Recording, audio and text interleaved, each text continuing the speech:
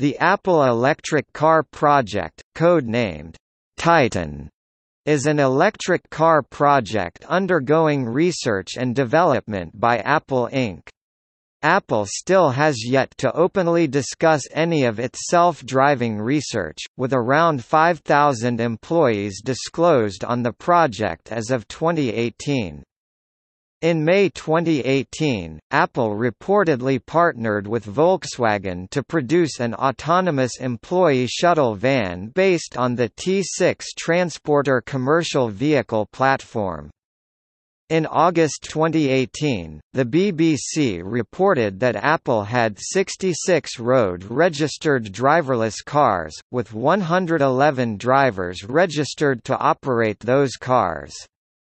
The Wall Street Journal reported on July 25, 2016 that Apple had hired Bob Mansfield to lead the Titan project.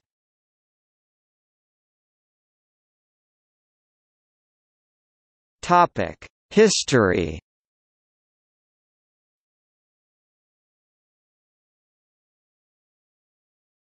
Topic 2014-2015 The project was rumored to be approved by Apple CEO Tim Cook in late 2014 and assigned to Vice President Steve Zadesky, a former Ford engineer as project in charge. For the project, Apple was rumored to have hired Johan Jungwirth, the former president and chief executive of Mercedes-Benz Research and Development North America, as well as at least one transmission engineer. By February 2015, it was rumored that a substantial number of Apple employees were working on an electric car project, with Apple hiring new employees for the project as well. Reports in February 2015 indicated that the company had been offering incentives to Tesla employees to join Apple. In February 2015, The Wall Street Journal reported that the product would resemble more of a minivan than a car, and the Sydney Morning Herald said at that time that production could start as soon as 2020. In February 2015, Apple board member Mickey Drexler stated stated that Apple co-founder and CEO Steve Jobs had plans to design and build a car, and that discussions about the concept surfaced around the time that Tesla Motors debuted its first car in 2008. In November 2015, former Apple iPod senior VP Tony Fadell confirmed that Steve Jobs was interested in an Apple car back in 2008, shortly after the original iPhone was introduced.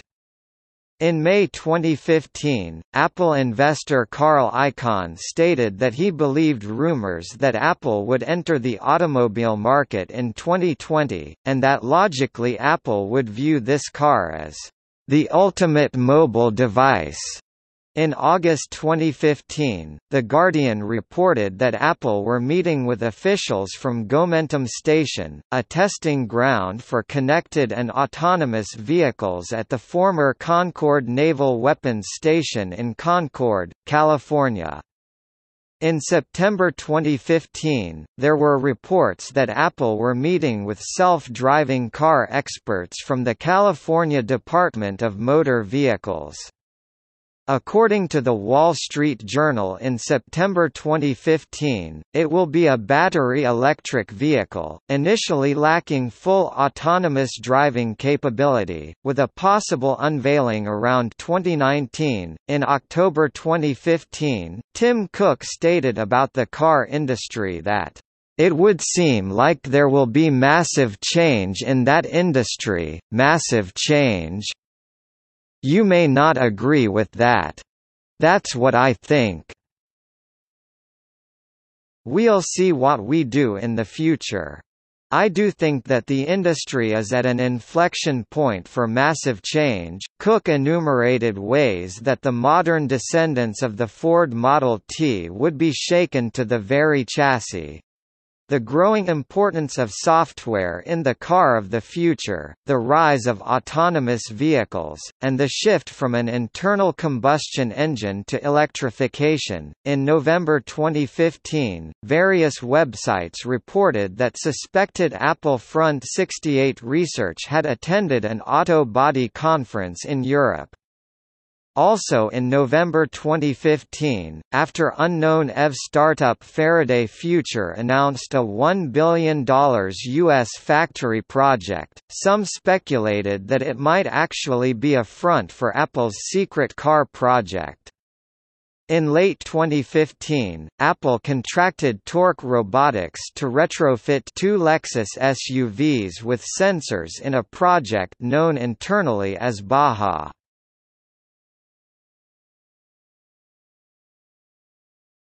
Topic 2016 In 2016, Tesla Motors CEO Elon Musk stated that Apple will probably make a compelling electric car. It's pretty hard to hide something if you hire over a thousand engineers to do it. In May 2016, there were reports indicating Apple was interested in electric car charging stations. The Wall Street Journal reported on July 25, 2016, that Apple had convinced retired senior hardware engineering executive Bob Mansfield to return and take over the Titan project. A few days later, on July 29, Bloomberg Technology reported that Apple had hired Dan Dodge, the founder and former chief executive officer of QNX, BlackBerry Limited's automotive software division, According to Bloomberg, Dodge's hiring heralded a shift in emphasis at Apple's Project Titan, in which the company will give first priority to creating software for autonomous vehicles. However, the story said that Apple would continue to develop a vehicle of its own. On September 9, The New York Times reported dozens of layoffs in an effort to reboot, presumably from a team still numbering around 1,000. The following week, reports surfaced that Magna International, a contract vehicle manufacturer, had a small team working at Apple's Sunnyvale lab.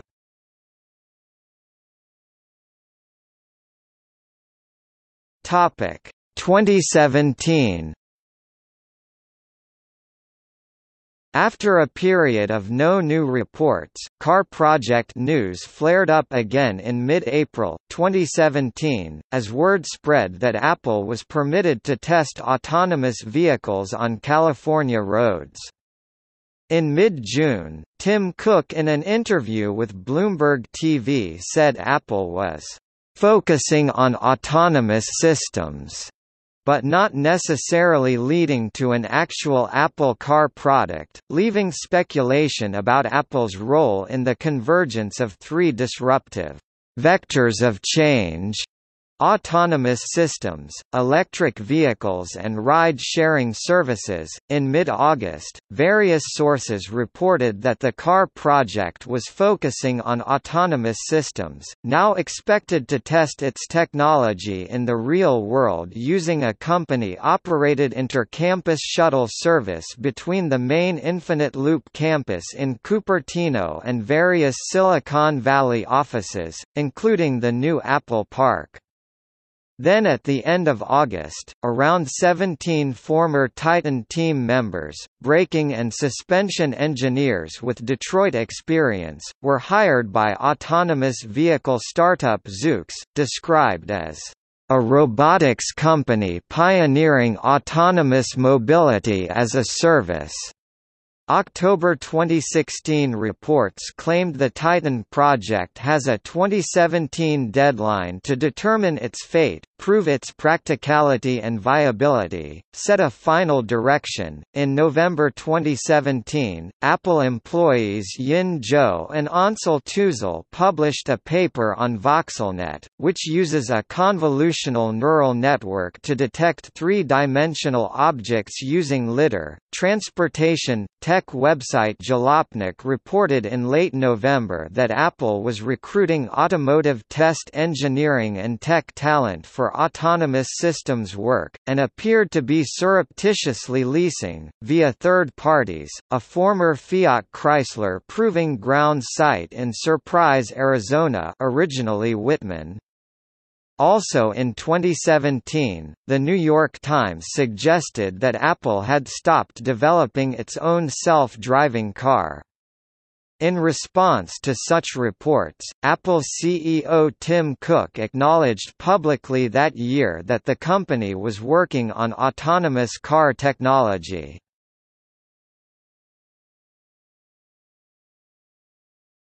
Topic 2018 In January 2018, the company registered 27 self-driving vehicles with California's Department of Motor Vehicles. In May 2018, a New York Times article reported on major project news. After proposed partnership arrangements with Germany's high-end brands BMW and Mercedes-Benz failed, as did potential alliances with Nissan, BYD Auto, McLaren Automotive, and others, Apple reportedly partnered with Volkswagen to produce an autonomous employee shuttle van based on the T6 Transporter commercial vehicle platform.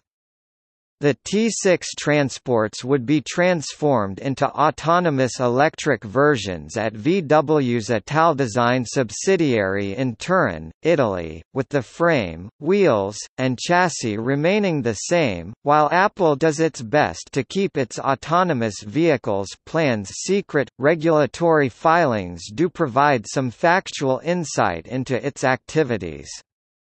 In September 2018, Apple was reportedly in third place in the number of California autonomous vehicle permits with 70, behind GM's Cruise 175 and Alphabet's Waymo 88. On July 7, 2018, a former Apple employee was arrested by the FBI for allegedly stealing trade secrets about Apple's self-driving car project. He was charged by federal prosecutors. The criminal complaint against the former employee revealed that at that time, Apple still had yet to openly discuss any of its self-driving research, with around 5,000 employees disclosed on the project. On August 24, 2018, it was reported that one of Apple's self-driving car had apparently been involved in a crash, when it was rear-ended during road testing. The crash occurred while the car was at a stop, waiting to merge into traffic about 3.5 miles from Apple's headquarters in Cupertino, with no reported injuries. At the time, the BBC reported that Apple had 66 road-registered driverless cars, with 111 drivers registered to operate those cars. In August 2018, there were reports about an Apple patent that warned riders what moves an autonomous car would make before it made them, purportedly to alleviate nervousness. Topic alleged employees and affiliates Jamie Carlson, an engineer on Tesla's Autopilot self-driving car program, and before that he worked on automotive vision systems for Michigan-based supplier Gentex Corp.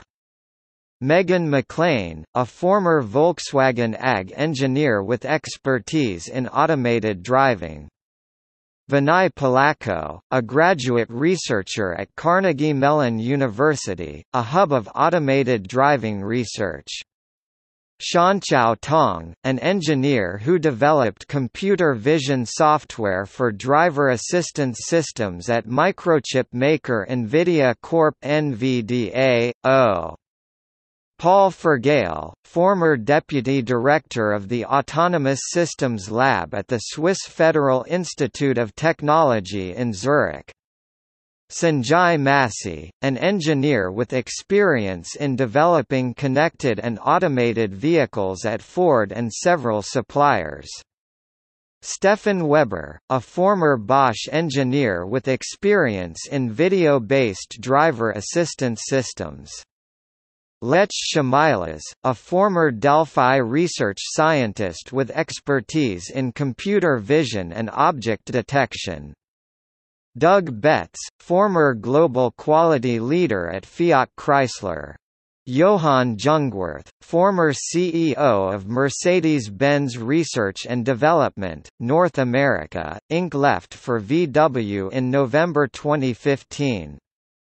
Mujeeb Ijaz, a former Ford Motor Co. engineer, who founded A123 Systems' Venture Technologies division, which focused on materials research, electrical battery cell product development and advanced concepts who helped recruited four to five staff researchers from A123, a battery technology company Nancy Sun, formerly vice president of electrical Electrical Engineering at electric motorcycle company Mission Motors in San Francisco.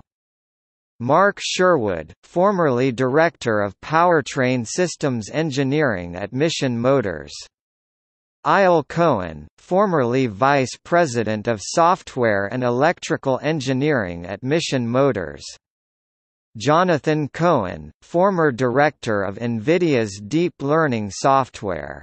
NVIDIA uses deep learning in its NVIDIA Drive PX platform, which is used in driver assistance systems. Chris Porritt, former Tesla Vice President of Vehicle Engineering and former Aston Martin Chief Engineer. Alex Hitzinger is a German engineer who until 31 March 2016 was the technical director of the Porsche LMP1 project. He previously worked as head of advanced technologies for the Red Bull and Toro Rosso Formula One teams. In January 2019 he left to head the technical VW Commercial Vehicles department.